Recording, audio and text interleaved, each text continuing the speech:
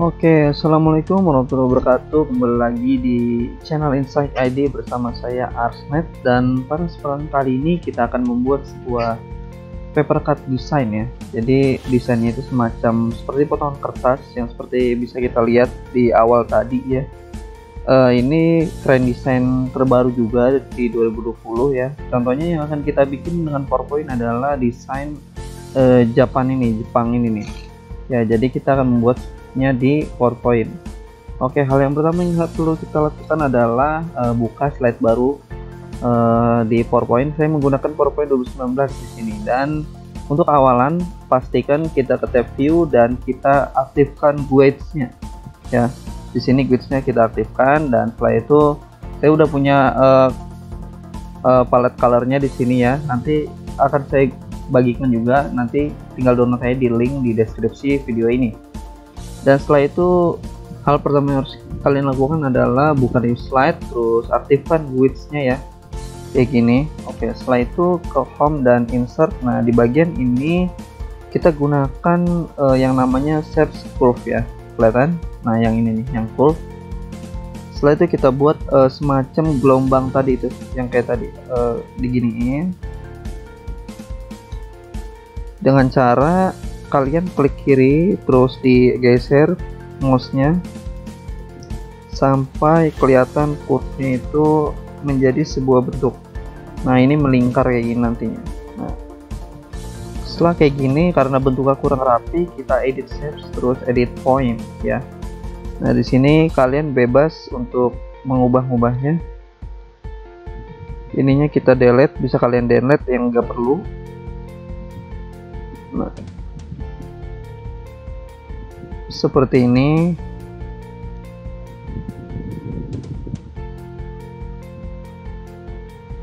Kalau kita lihat contohnya itu dia buatnya kayak uh, ini ya ada yang rapi ada yang enggak juga gitu. Jadi pastikan kalau bisa sih rapi ya. Ini kita delete juga. Nah kita mainkan yang warna putihnya aja biar uh, gelombangnya kelihatan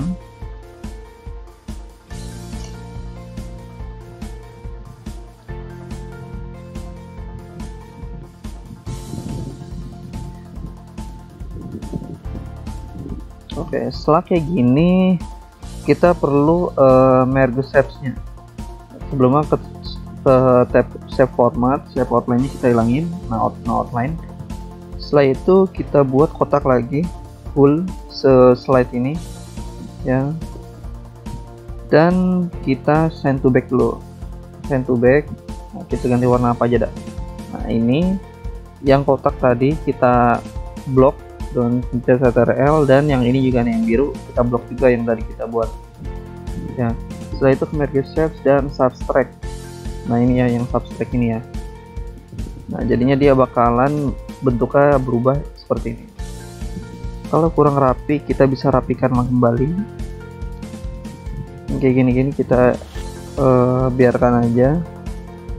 Setelah itu kalian bisa add point juga nih. Jadi kalian bisa menambahkan poin untuk ngedit-ngedit lagi. Nah seperti ini. Setelah itu kita kasih warna dulu deh. Ini udah saya rapikan jadi warnanya tinggal kita pakai yang ini nih. Caranya yang tadi tuh. Uh, dengan cara klik shapes-nya setelah itu ke save fill dan eyedropper. Nah kayak gini. Setelah itu kita copy paste saja. Kita copy paste ctrl C ctrl V ya. Jadinya ada dua kita perkecil dan kita ubah warna warnanya. Nah kayak gini dan send to send backward atau send to back deh. Nah setelah itu rotate kita ganti biar berubah gitu dia. Nah. Oh sebelumnya kita pasang shadow nya dulu biar otomatis. Nah ke type format yang tadi kita delete dulu ya. Terus ke shadow. Shadow di sini kita shadow option paling bawah dan di sini kita gunakan yang uh, tengah ini nih. Tengah. Setelah itu kalau kita lihat di sini dia uh, shadownya itu berapa persen ya? Transparannya 75 size nya 95 blurnya 20 kita samain aja. Ini 75 size nya 95 blurnya berapa tuh? Blurnya 20 20 nah, kayak gini hasilnya nanti ya.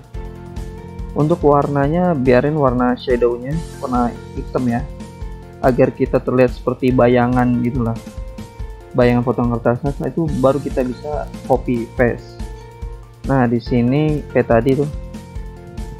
Terus send to back. Uh, biar agak beda ya. Kita bisa edit point lagi agak dibedakan biar uh, apa ya biar lebih bagus lagi tuh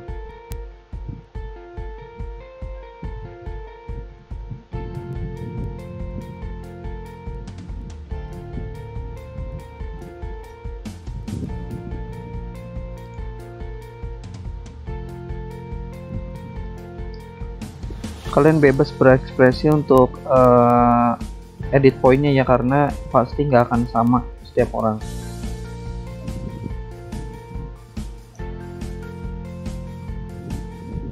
Oke, setelah itu kalau udah jadi begini, kayak tadi lagi kita copy paste lagi ya. Kita perkecil lagi. Nah, di sini kita ganti warna dulu. Oke. Nah, setelah itu kita rotate aja deh biar beda kita send to back nah di sini kita edit set lagi deh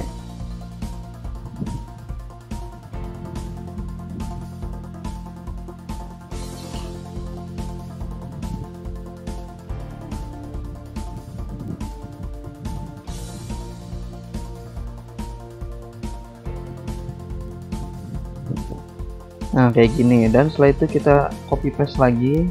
Sampai ada berapa layer nih ini? Kita, kalau kita bikin ada 5 ya berarti ya? Uh, 1 2 3 4 oh iya benar. Ada 5 kita ganti warna dulu. Terus send to back.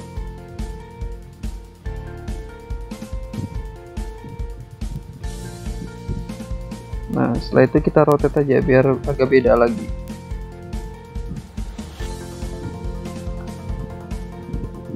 tinggal kita edit shapes dead point. Nah ini kita agak jauhin biar itemnya kayak gitu.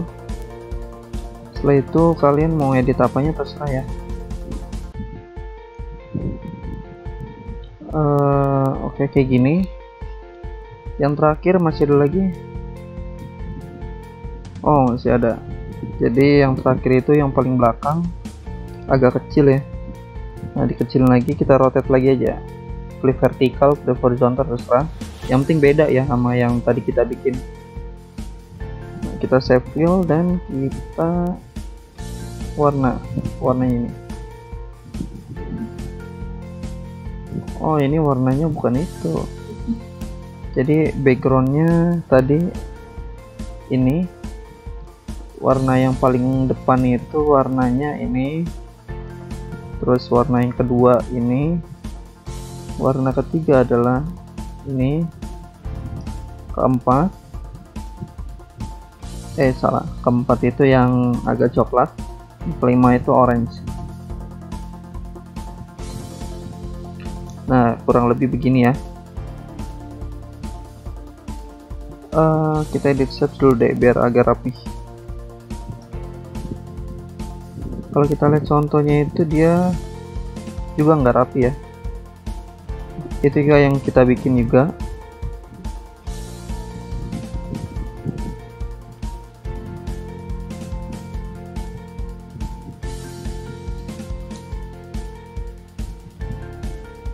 Oke, kurang lebih begini ya. Kalau kita lihat full screennya, nah begini. Atau enggak kita grup semua. Kalau mau diperkecil perbesar jadi lebih gampang. Tinggal kita rapihin beberapa ya. Oke, setelah itu kita buat yang kayak apa nih namanya? Pernak-pernik lah gitu. Jadi kayak gini. Ini di grup dulu tadi ya Pion Group dan setelah itu bikin kayak gininya nih bulatan terus yang paling depan kita uh, blok sama yang biru ini setelah itu di subtract ya ini kita perkecil aja deh nah jadi kayak gini. Yang ini kita perkecil.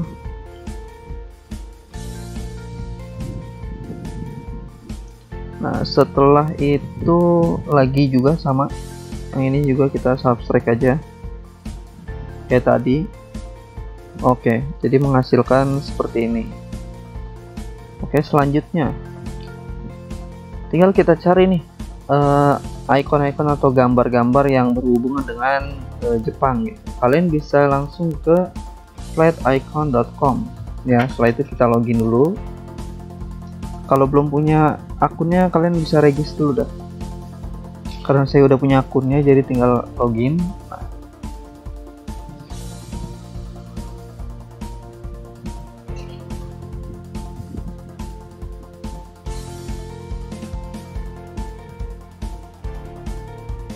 Oke, di sini udah login. Setelah itu tinggal kita cari dengan keyword Japan misalkan. Nanti dia bakal banyak yang keluar tuh yang pertama kita akan cari adalah uh, Gunung Fuji deh ya. yang berhubungan dengan Gunung Fuji ada gak Lalu kita tulis saja deh Fuji ya di sini ada yang berbayar ada yang enggak kita pakainya yang gratisan aja ya uh, kalau seperti yang dicontoh yang mana ya?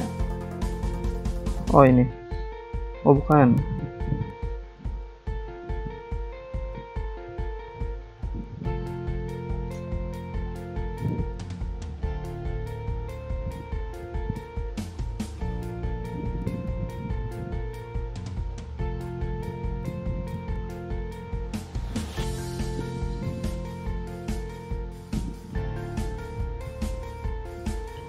Oke, kita gunain yang ini ya. Kita klik yang SVG, kita download. Kalau misalkan kalian menggunakan PowerPoint 2019 itu dia bisa diedit lagi SVG-nya ya. Kalau 2016 nggak bisa. Kalau udah ke download, tinggal kita ke folder downloadannya. Nah di sini ini Japan nih. Tinggal kita copy paste atau kita tarik ke sini. Nah karena kita menggunakan yang gunung Fuji doang kita convert to shapes dulu terus kita hilangin yang nggak perlunya deh. Kayak awannya sama bulatan merahnya karena kita nggak menggunakannya ya. Ini juga kita hilangin aja. Dan tinggal kita rapin.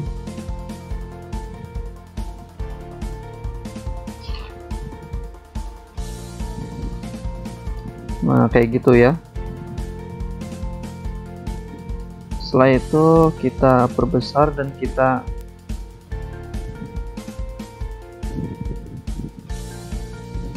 ini kita rapin dulu dengan edit shapes edit point.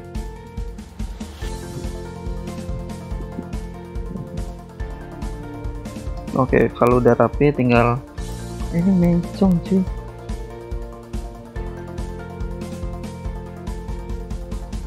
Oke kayak gitu kalau untuk warna terserah bebas. Ya.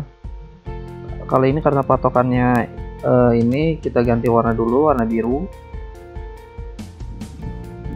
Oke birunya bisa kita naikkan lagi. Uh, jangan deh. Birunya kita mau color aja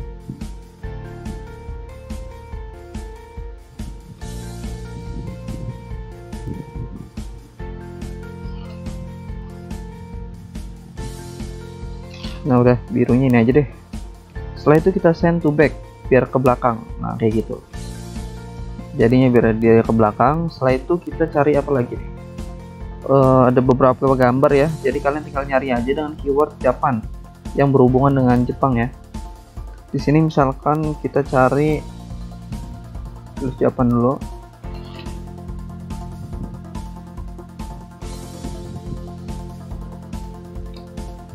Nah, di sini banyak nih, kayak yang tadi tuh yang kita bikin, kita butuh yang namanya a get berarti ya, atau yang kayak gini nih. Jangan yang ini deh, yang gampang di ini aja, di edit edit.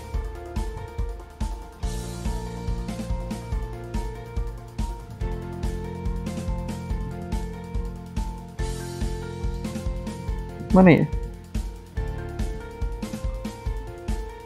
Oh ini deh. Kita download SVG nya lagi. Kita kumpulin dulu aja deh ikonnya. Japan terus apa lagi yang berhubungan dengan Jepang ya? Oh ini kastil kastil gini nih. Setelah itu ada apa lagi? Tokyo Tower ya kan? Kita tulisnya di sini Tokyo nanti dia bakal keluar yang berhubungan dengan Tokyo di sini. Nah kan? Banyak. Kita download yang ini aja. SVG nya kita download. Kalian boleh download PNG nya aja langsung ya kalau misalnya nggak mau di uh, eh, edit edit lagi gitu. Setelah itu ada makanan atau tulis aja ini food Japan. Nah di sini ada sugestinya food Japanese kita cari uh, ramen ya kan yang biasanya terkenal di Jepang itu ramen. Kita download aja langsung yang mana ya? Oke ramen ini satu.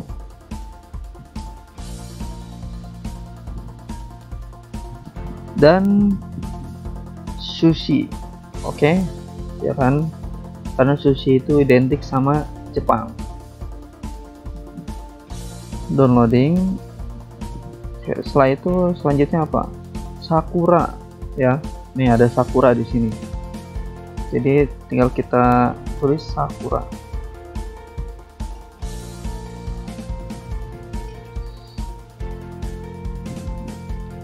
Oke, di sini banyak berbagai macam. Kita pakai yang paling ujung aja nih. SVG kita download, klik download. Nanti saya akan kasih linknya juga ya, sama atributnya juga nih. Karena kita downloadnya gratisan, jadi kita harus uh, pasang atributnya juga. Oke, di sini tinggal kita udah download semuanya. Nah, ada flower, sushi, ramen. Kita masukin aja satu-satu dulu, oke? Okay? nah yang ini karena kita perlunya uh, gate-nya doang ya jadi yang nggak perlu kayak gunung Fuji ini kita hilangin aja nah, nah setelah itu kita bisa ganti warnanya. Kalau misalkan di PowerPoint 2019 kayak gini. Nah tuh kan kita bisa ganti warnanya. Tinggal kita rotate aja. Setelah itu send to back.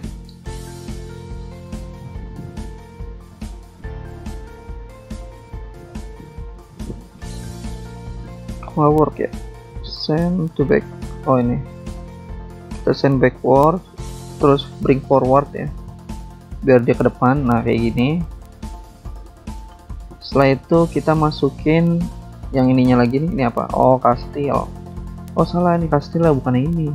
Kalau warnanya kayak gitu agak susah. Kita cari yang benar-benar flat ya. Kalau itu kan kayak flat line art. Kita cari yang flat klik aja ininya. Nah di sini ada sugesti lagi nih nah pilih yang ininya nih. Kita download. Nah setelah itu kita masukin aja deh. Yang Japan 4 tadi ya. Nah karena saya maunya warna merah jadi kita convert to shape dulu. Setelah itu kita ganti warnanya yang ini nih. Menjadi warna merah. Merah tadi ya. Nah kayak gitu. Cakep kan? Kita perkecil kalau ini taruh mana? Kalau untuk uh, tata letak bebas ya. Kan bisa taruh di mana aja. Ini kita kecilin dulu bring forward. Kita rotate dulu. Nah terus setelah itu kita send to back. Kita send to back bring forward bring forward. Sampai ke depan. Nah kayak gitu kurang lebih. Dan setelah itu apa lagi? Masih banyak ya? Japan 2 apa nih? Oh ini yang tadi. Japan 3 oh ini Tokyo Tower. Tokyo Towernya kita panjangin. Nah kita taruh di dekat gunung Fujinya.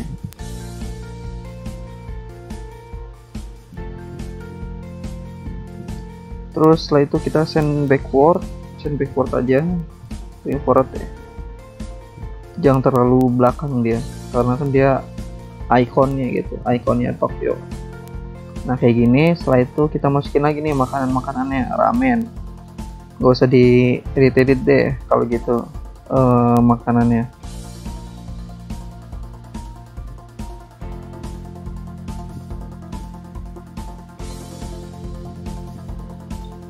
Oke okay. tinggal kita send to back.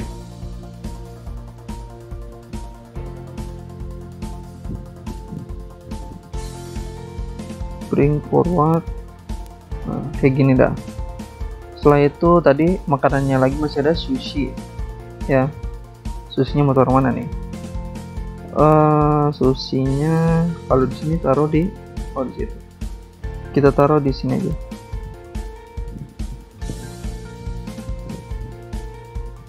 Mana ya? Agak full juga. Nah di sini deh. Kita send backward send backward rotate nya nah kayak gini yang terakhir adalah apa tadi yang terakhir? Sakura. Flower. Ini untuk uh, apa hiasannya. Karena kan ya seperti yang kita tahu identik juga sama Jepang. Kita send backward aja. Ingin kita send backward juga biar dia kena shadownya ya bikin bikin jadi tiga. Send backward. Nah kayak gitu. Kalau kita lihat keseluruhannya jadinya seperti ini ya. Jadi kayak paper cut gitu. Setelah itu apa yang kita perluin? Tadi ikon-ikon yang tadi saya lupa ya icon-icon yang tadi kita blok semua setelah itu kita gunain kecuali yang gunung Fuji-nya deh. Eh gunung Fuji juga deh. Semuanya setelah itu kita ke save shadow. Atau tadi tuh ya. Kan tadi kayak gini jadi tinggal klik ininya. Shadow kayak tadi. Uh, ininya 75 ini 95 dan ininya 20 samain aja semua Oke, jadi semuanya punya shadow. Tinggal kita kasih teks Japan misalkan. Nah, di sini kita taruh tengah ya. Japan, kasih warna putih dulu deh. Kalau di sini saya gunainnya fontnya apa nih? Lejardin Decalista. Kalian bisa download aja atau kalian bisa pakai font yang lain. Gak harus sama kok. Japan. Nah untuk warna warnanya kontras biar ketahuan ya biar atau biar kelihatan gitu. Kita format di sini ke text effect glow. Nah glownya ini kita glow option. Nah nanti bakal muncul settingan lagi. Setelah itu ini shadow kita tutup dan warnanya. Warnanya itu sama nama yang kuning ini aja. Atau yang oranye biar agak kelihatan deh oranye deh nah kayak gini. Dan size nya itu berapa ya? 7 aja. Size nya 7 kita bikin kayak gantungan gitu dah. Dari sini ke sini kita ganti warna. Warnanya apa tuh? Oh, warna putih. Dan lainnya kita kasih tadi kayak glownya tadi tuh kita kasih berapa ya? 6 7 6 aja.